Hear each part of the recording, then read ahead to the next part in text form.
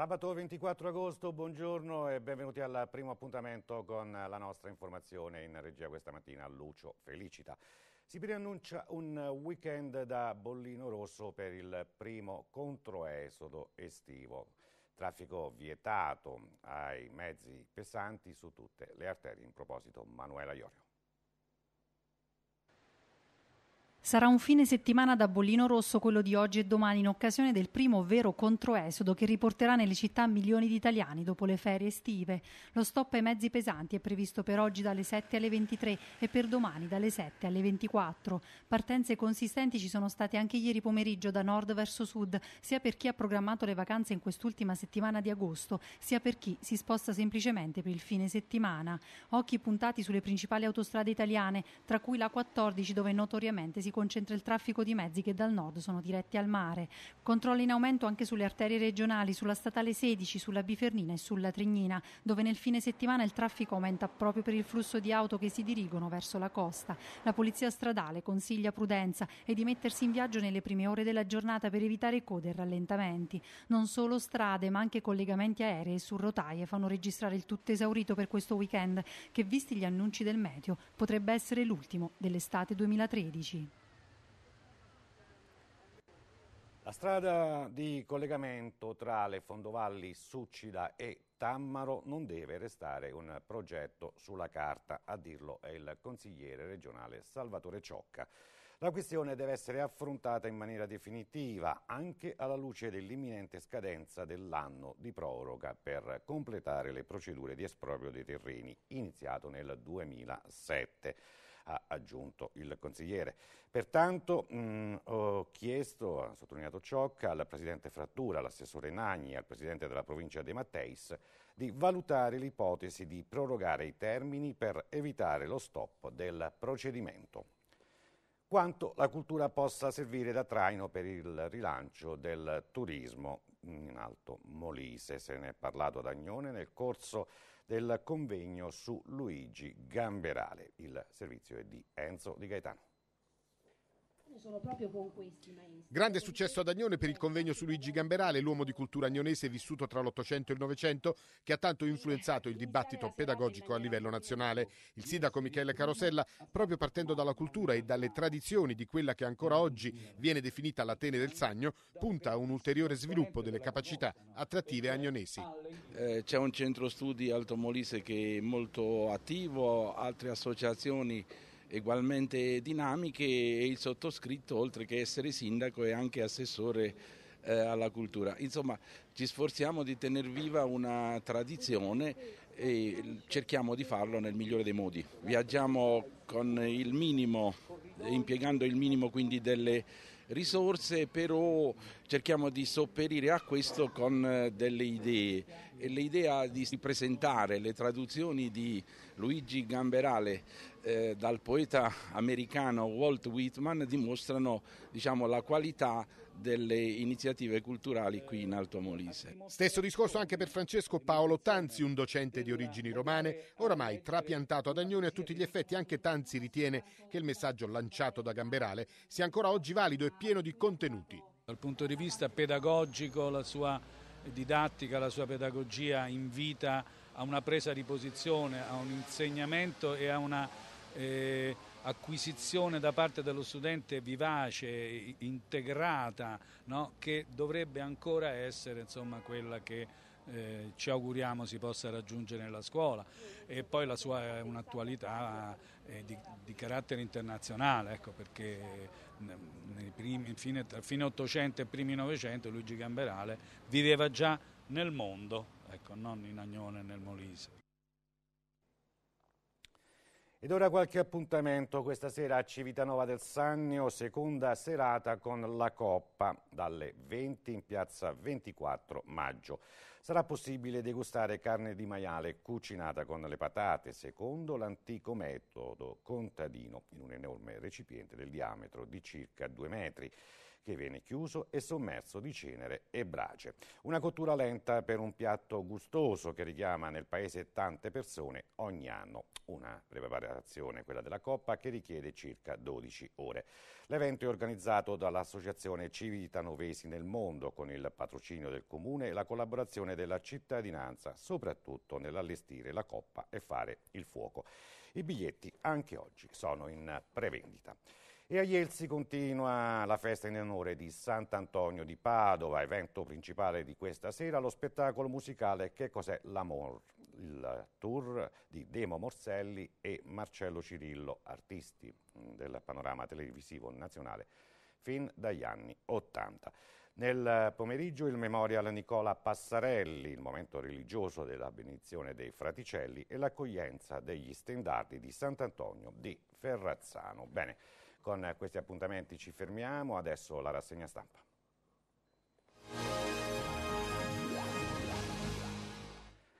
Iniziamo con il giornale del Molise.it. In evidenza c'è la politica. Tra Big e Bang esplode il PD. Michaela Fanelli lancia la sfida a Ruta e leva il pezzo, filmato da Pasquale Di Bello. Dunque il sindaco di Riccia, Michaela Fanelli, è il presidente della neonata associazione Big Bang Molise, una struttura legata a Matteo Renzi che si propone di costruire un nuovo PD alternativo a quello attuale e alla sua dirigenza. È partita la corsa verso il congresso del partito, in gioco la segreteria e non solo. Vediamo anche le altre notizie sul giornale del Molise.it. Legge taglia costi al COSIB di Termoli. Non si adeguano. Aspettiamo un parere legale, è stato detto. Poi la cronaca, la vita del piccolo Giulio attaccata ad un filo. Debiti della pubblica amministrazione ancora troppi ritardi nei pagamenti alle imprese. Le altre notizie, ultimo, ultimo, weekend di agosto, bollino rosso sulle strade, avete sentito il servizio di Manuela Iorio, poi da Campobasso la lenta agonia del mercato coperto. Fine festa del Molise, concorso di idee per scegliere il logo. E ancora le notizie dall'Italia e dal mondo. Andiamo a vedere la prima pagina di Primo Piano Molise. L'apertura è sulla politica, amnistia al CAV, lo stop arriva dal Molise. Danilo Leva boccia l'idea suggerita dai Montiani. Per il PD è un inaccettabile tentativo di salvare una sola persona. Attesa per il destino politico di Berlusconi, che fuori dal Parlamento lascerebbe lo scranno a Ulisse Di Giacomo. In alto c'è la cronaca da Campomarino finisce con l'auto sotto un tir, 75enne trasferito a San Giovanni Rotondo. Mentre una notizia che riguarda Campobasso, il piccolo Giulio lotta, l'Italia prega per lui. Questa mattina è previsto un nuovo bollettino medico. Le altre notizie siamo a centro pagina, i costi della casta, indennità degli inquilini di Palazzo Moffa, scoppia la grana in casa democratica, base e giovani in rivolta contro l'adeguamento al decreto 174. Emergenza profughi intesa per accoglierli nei comuni, ma eh, l'assessore Roia frena su un centro di grandi dimensioni a San Giuliano di Puglia. Alcune, alcuni richiami sulla sinistra, da Campobasso, ambulanti abusivi, nessuna multa nel primo giorno di divieto. E da Pozzilli, piromane dello Stingone, i vigili del fuoco dicono non è uno dei nostri.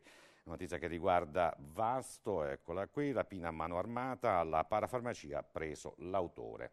Qualche altra notizia, siamo sullo sport, eh, Serie D, Termoli e Boiano, sabato di test, vigilia di coppa per i team Pentri. Campobasso, Falcione, Meo e Perretta rilevano il 1919, parte l'avventura. Da primo piano adesso uno sguardo al quotidiano del eh, Molise che eh, apre con l'emergenza profughi, profughi, no a campi di concentramento, Petraroia al tavolo con le regioni e i ministri, no ai grandi numeri, ma sì i ragioni sugli spar. Per il governo c'è l'emergenza, più concreta l'ipotesi di accoglierli nel villaggio di San Giuliano di Puglia. In alto, sotto la testata, ore decisive per le sorti del piccolo Giulio. Si continua a sperare, la situazione resta grave. Stamattina i medici dirameranno un bollettino. Da una nuova Cliternia, lite in famiglia sfocia in furiosa rissa. E ancora cronaca dal Basso Molise, Campomarino, auto contro camion, un ferito grave. Andiamo di Sernia, tassa rifiuti, una stangata aumenterà del 30%, mentre per la politica Big Bang, Molise, Fanelli a caccia di adesioni e i giovani contestano i vertici. Ci spostiamo a Campobasso, a scuola la sicurezza non è un optional e scattano gli interventi di prevenzione, dunque Campobasso e Isernia, i rispettivi comuni danno fondo alle risorse. Il Carpino è malato, fiume inquinato, si va adesso in procura. Lo sport, il calcio, Lupi, pronta la nuova società lunedì il raduno per la Serie D, attesa per il derby di Coppa. Ad Agnone arriva l'Isernia, ancora Serie D.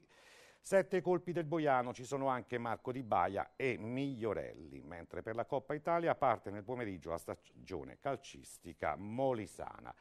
Dal quotidiano ai fatti del nuovo Molise, in evidenza eh, la notizia che riguarda le scuole di Campobasso. Scuola in sicurezza, Big Gino accelera. L'amministrazione comunale di Campobasso predispone interventi per diversi, per diversi, milioni di euro per cinque edifici. Sulla sinistra c'è la foto dell'assessore Nicola Cefaratti. In alto meno tasse universitarie, universitarie cannata al lavoro. E poi Fanelli, nuovo PD nel segno di Renzi con il Big Bang. La cronaca, rissa violenta in strada, in tre finiscono all'ospedale. Da Campobasso invece deturpate le mura della città da scritte sgradevoli e scarabocchi. Vediamo qualche altra notizia sui fatti del nuovo Molise. La Fondovalle Tammaro è solo sulla carta, lo ha detto il consigliere regionale Ciocca che chiede il completamento. Poi a Termoli, Sagra del Pesce, eh, Termoli diventa tutta una frittura. Chiudiamo i fatti del Nuovo Molise per dare uno sguardo alla prima del eh, con notizie che riguardano il Molise, cioè la politica. I renziani lanciano Big Bang Molise. La presidente sarà Michaela Fanelli. Si tratta di un laboratorio per costruire un PD totalmente rinnovato. Adesso andiamo a vedere i giornali in cartaceo, in particolare siamo sempre sui regionali, la pagina del Tempo. Eccola qui, più spending, meno review. Dissensi intanto sulla regione cittadini indignati per il falso taglio degli stipendi dei consiglieri. Dissensi anche nel PD, la metà dei giovani è senza lavoro. Poi si parla del Giro d'Italia con la bici elettrica, la scoperta della cultura locale. Eh, la notizia arriva da eh, Termoli. Eh, viabilità, Ciocca chiede il completamento della eh, Succida Tammaro. In basso invece il piccolo Giulio lotta tra la vita e la morte. Ancora cronaca, auto tampone il tir, grave un pensionato a causare l'incidente eh, nella zona di Termoli, l'aumento del traffico sulla strada statale adriatica. Diverse notizie in breve, eh, tra le quali quella da Larino, il sindaco celebra il primo matrimonio civile, poi Campobasso lavori nelle scuole per 3 milioni di euro. A Toro invece riapre al culto la chiesa madre e poi Campobasso, Palazzo Moffa cerca un logo per festeggiare i 50 anni della regione. Infine l'università va incontro a studenti e famiglie. Abbiamo concluso con i quotidiani regionali, adesso andiamo sui nazionali, iniziamo con il Corriere della Sera, eccolo qui, mm, c'è la politica in evidenza ma anche le notizie che arrivano dagli esteri. Vertice PDL sulle sorti del governo. Tensione tra i partiti. Slitta intanto a lunedì il Consiglio dei Ministri. Il PD boccia l'ipotesi di amnistia. Lupi dice non la chiediamo. Letta, clima sereno, variabile. In alto, Obama studia scelte sulla Siria. Intanto si parla di un milione di bambini profughi. Dal Corriere della Sera adesso alla prima del tempo. Anche qui apertura politica su Berlusconi, decide il destino di Letta. Mm, oggi Falchi e Colombe ad Arcore. Pronto il piano per ritirare i ministri. Cicchitto, tenteremo di evitare la crisi. Cancellieri e Mauro, i ministri, aprono all'amnistia.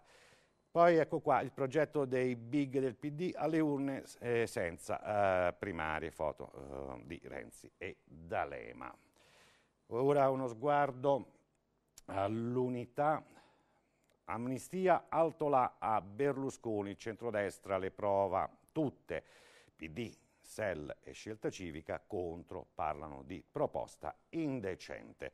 Dall'unità adesso passiamo al libero.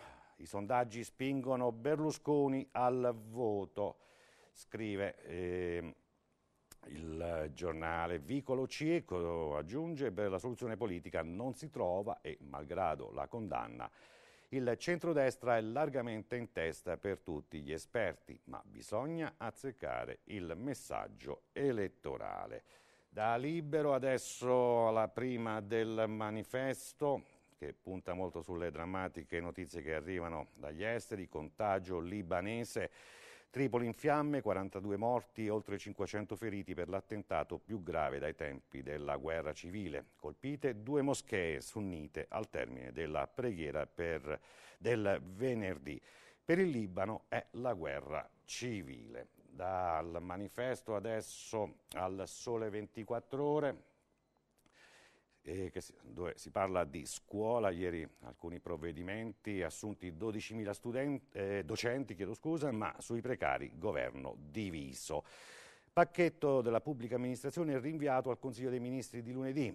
Eh, tensioni PD, PDL su stabilizzazione degli statali e agenzia fondi dell'Unione Europea. Ora un, il mattino di Napoli, anche qui la politica come potete vedere in evidenza, eh, Berlusconi lite sull'amnistia, eh, atto di clemenza, aperture di Mauro e Cancellieri, no del PD, eh, dicono un'indecenza, intanto governo diviso sull'IMO e sulla pubblica amministrazione. Dal mattino adesso alla Gazzetta del Mezzogiorno, rissa sull'amnistia Berlusconi, anche qui oggi è vertice ad Arcore, il PD basta con i ripescaggi. D'Alema scarica Letta, il governo intanto decide sugli statali e sull'IMU, Brunetta attacca il ministro del Rio dicendo stia zitto. Andiamo sui abbiamo, abbiamo la Repubblica. Eccola qui, i ministri PDL, no alla crisi, lupi, no, ci sono altre strade, dice. Intanto oggi mega vertice ad Arcore. Franceschini riunisce i colleghi di governo, pronti a far scudo a Letta. Poi questa foto, il milionesimo profugo bambino, si parla della tragedia eh, siria, eh, siriana, 7.000 persone uccisi, scrive Repubblica. Messaggero Berlusconi scontro sull'amnistia anche qui il centrodestra rilancia, ma il PD chiude dicendo è una proposta indecente. A centro pagina, falsi poveri, finte invalidità, truffa allo Stato da un miliardo e mezzo dall'inizio dell'anno, denunciate 8.000 persone, 51 gli arresti. Siamo sulla prima della stampa, i ministri e i figli provano a frenare l'ira di Berlusconi. Oggi Summit ad Arcore potrebbe accettare i servizi sociali. E poi questa fotonotizia, Siria, la svolta di Obama, pronti ad attaccare, ma solo con il mandato dell'ONU. Emergenza profughi e un milione di bambini in fuga. L'Unicef, rischio sfruttamento. Siamo sul giornale, letta ai giorni contati, maggioranza in bilico. D'Alema lo scarica e punta su Renzi, il governo paralizzato anche sugli statali. In dubbio la manovra sull'IMA sull'IMU. Ingroia trascinato in tribunale, accostò Forza Italia alla mafia. Dal giornale adesso alla Gazzetta dello Sport, solo calcio, grazie, scrive il quotidiano. Tra nuovi arrivi e vecchi pericoli si ricomincia. E c'è Verona-Milan, gli occhi sono eh, tutti su Balotelli che stuzzica, mentre Sampdoria-Juventus per Tevez e i campioni c'è subito un tranello. Intanto sul calciomercato Napoli è fatta per Zapata, ci sono anche chiaramente notizie che riguardano le altre discipline sportive. E con uh, lo sport e con la Gazzetta, normalmente come di consueto terminiamo l'appuntamento del mattino. Grazie per averci seguito, vi auguro un buon fine settimana, vi ricordo alle 14 il TG con tutte le ultime notizie. Arrivederci.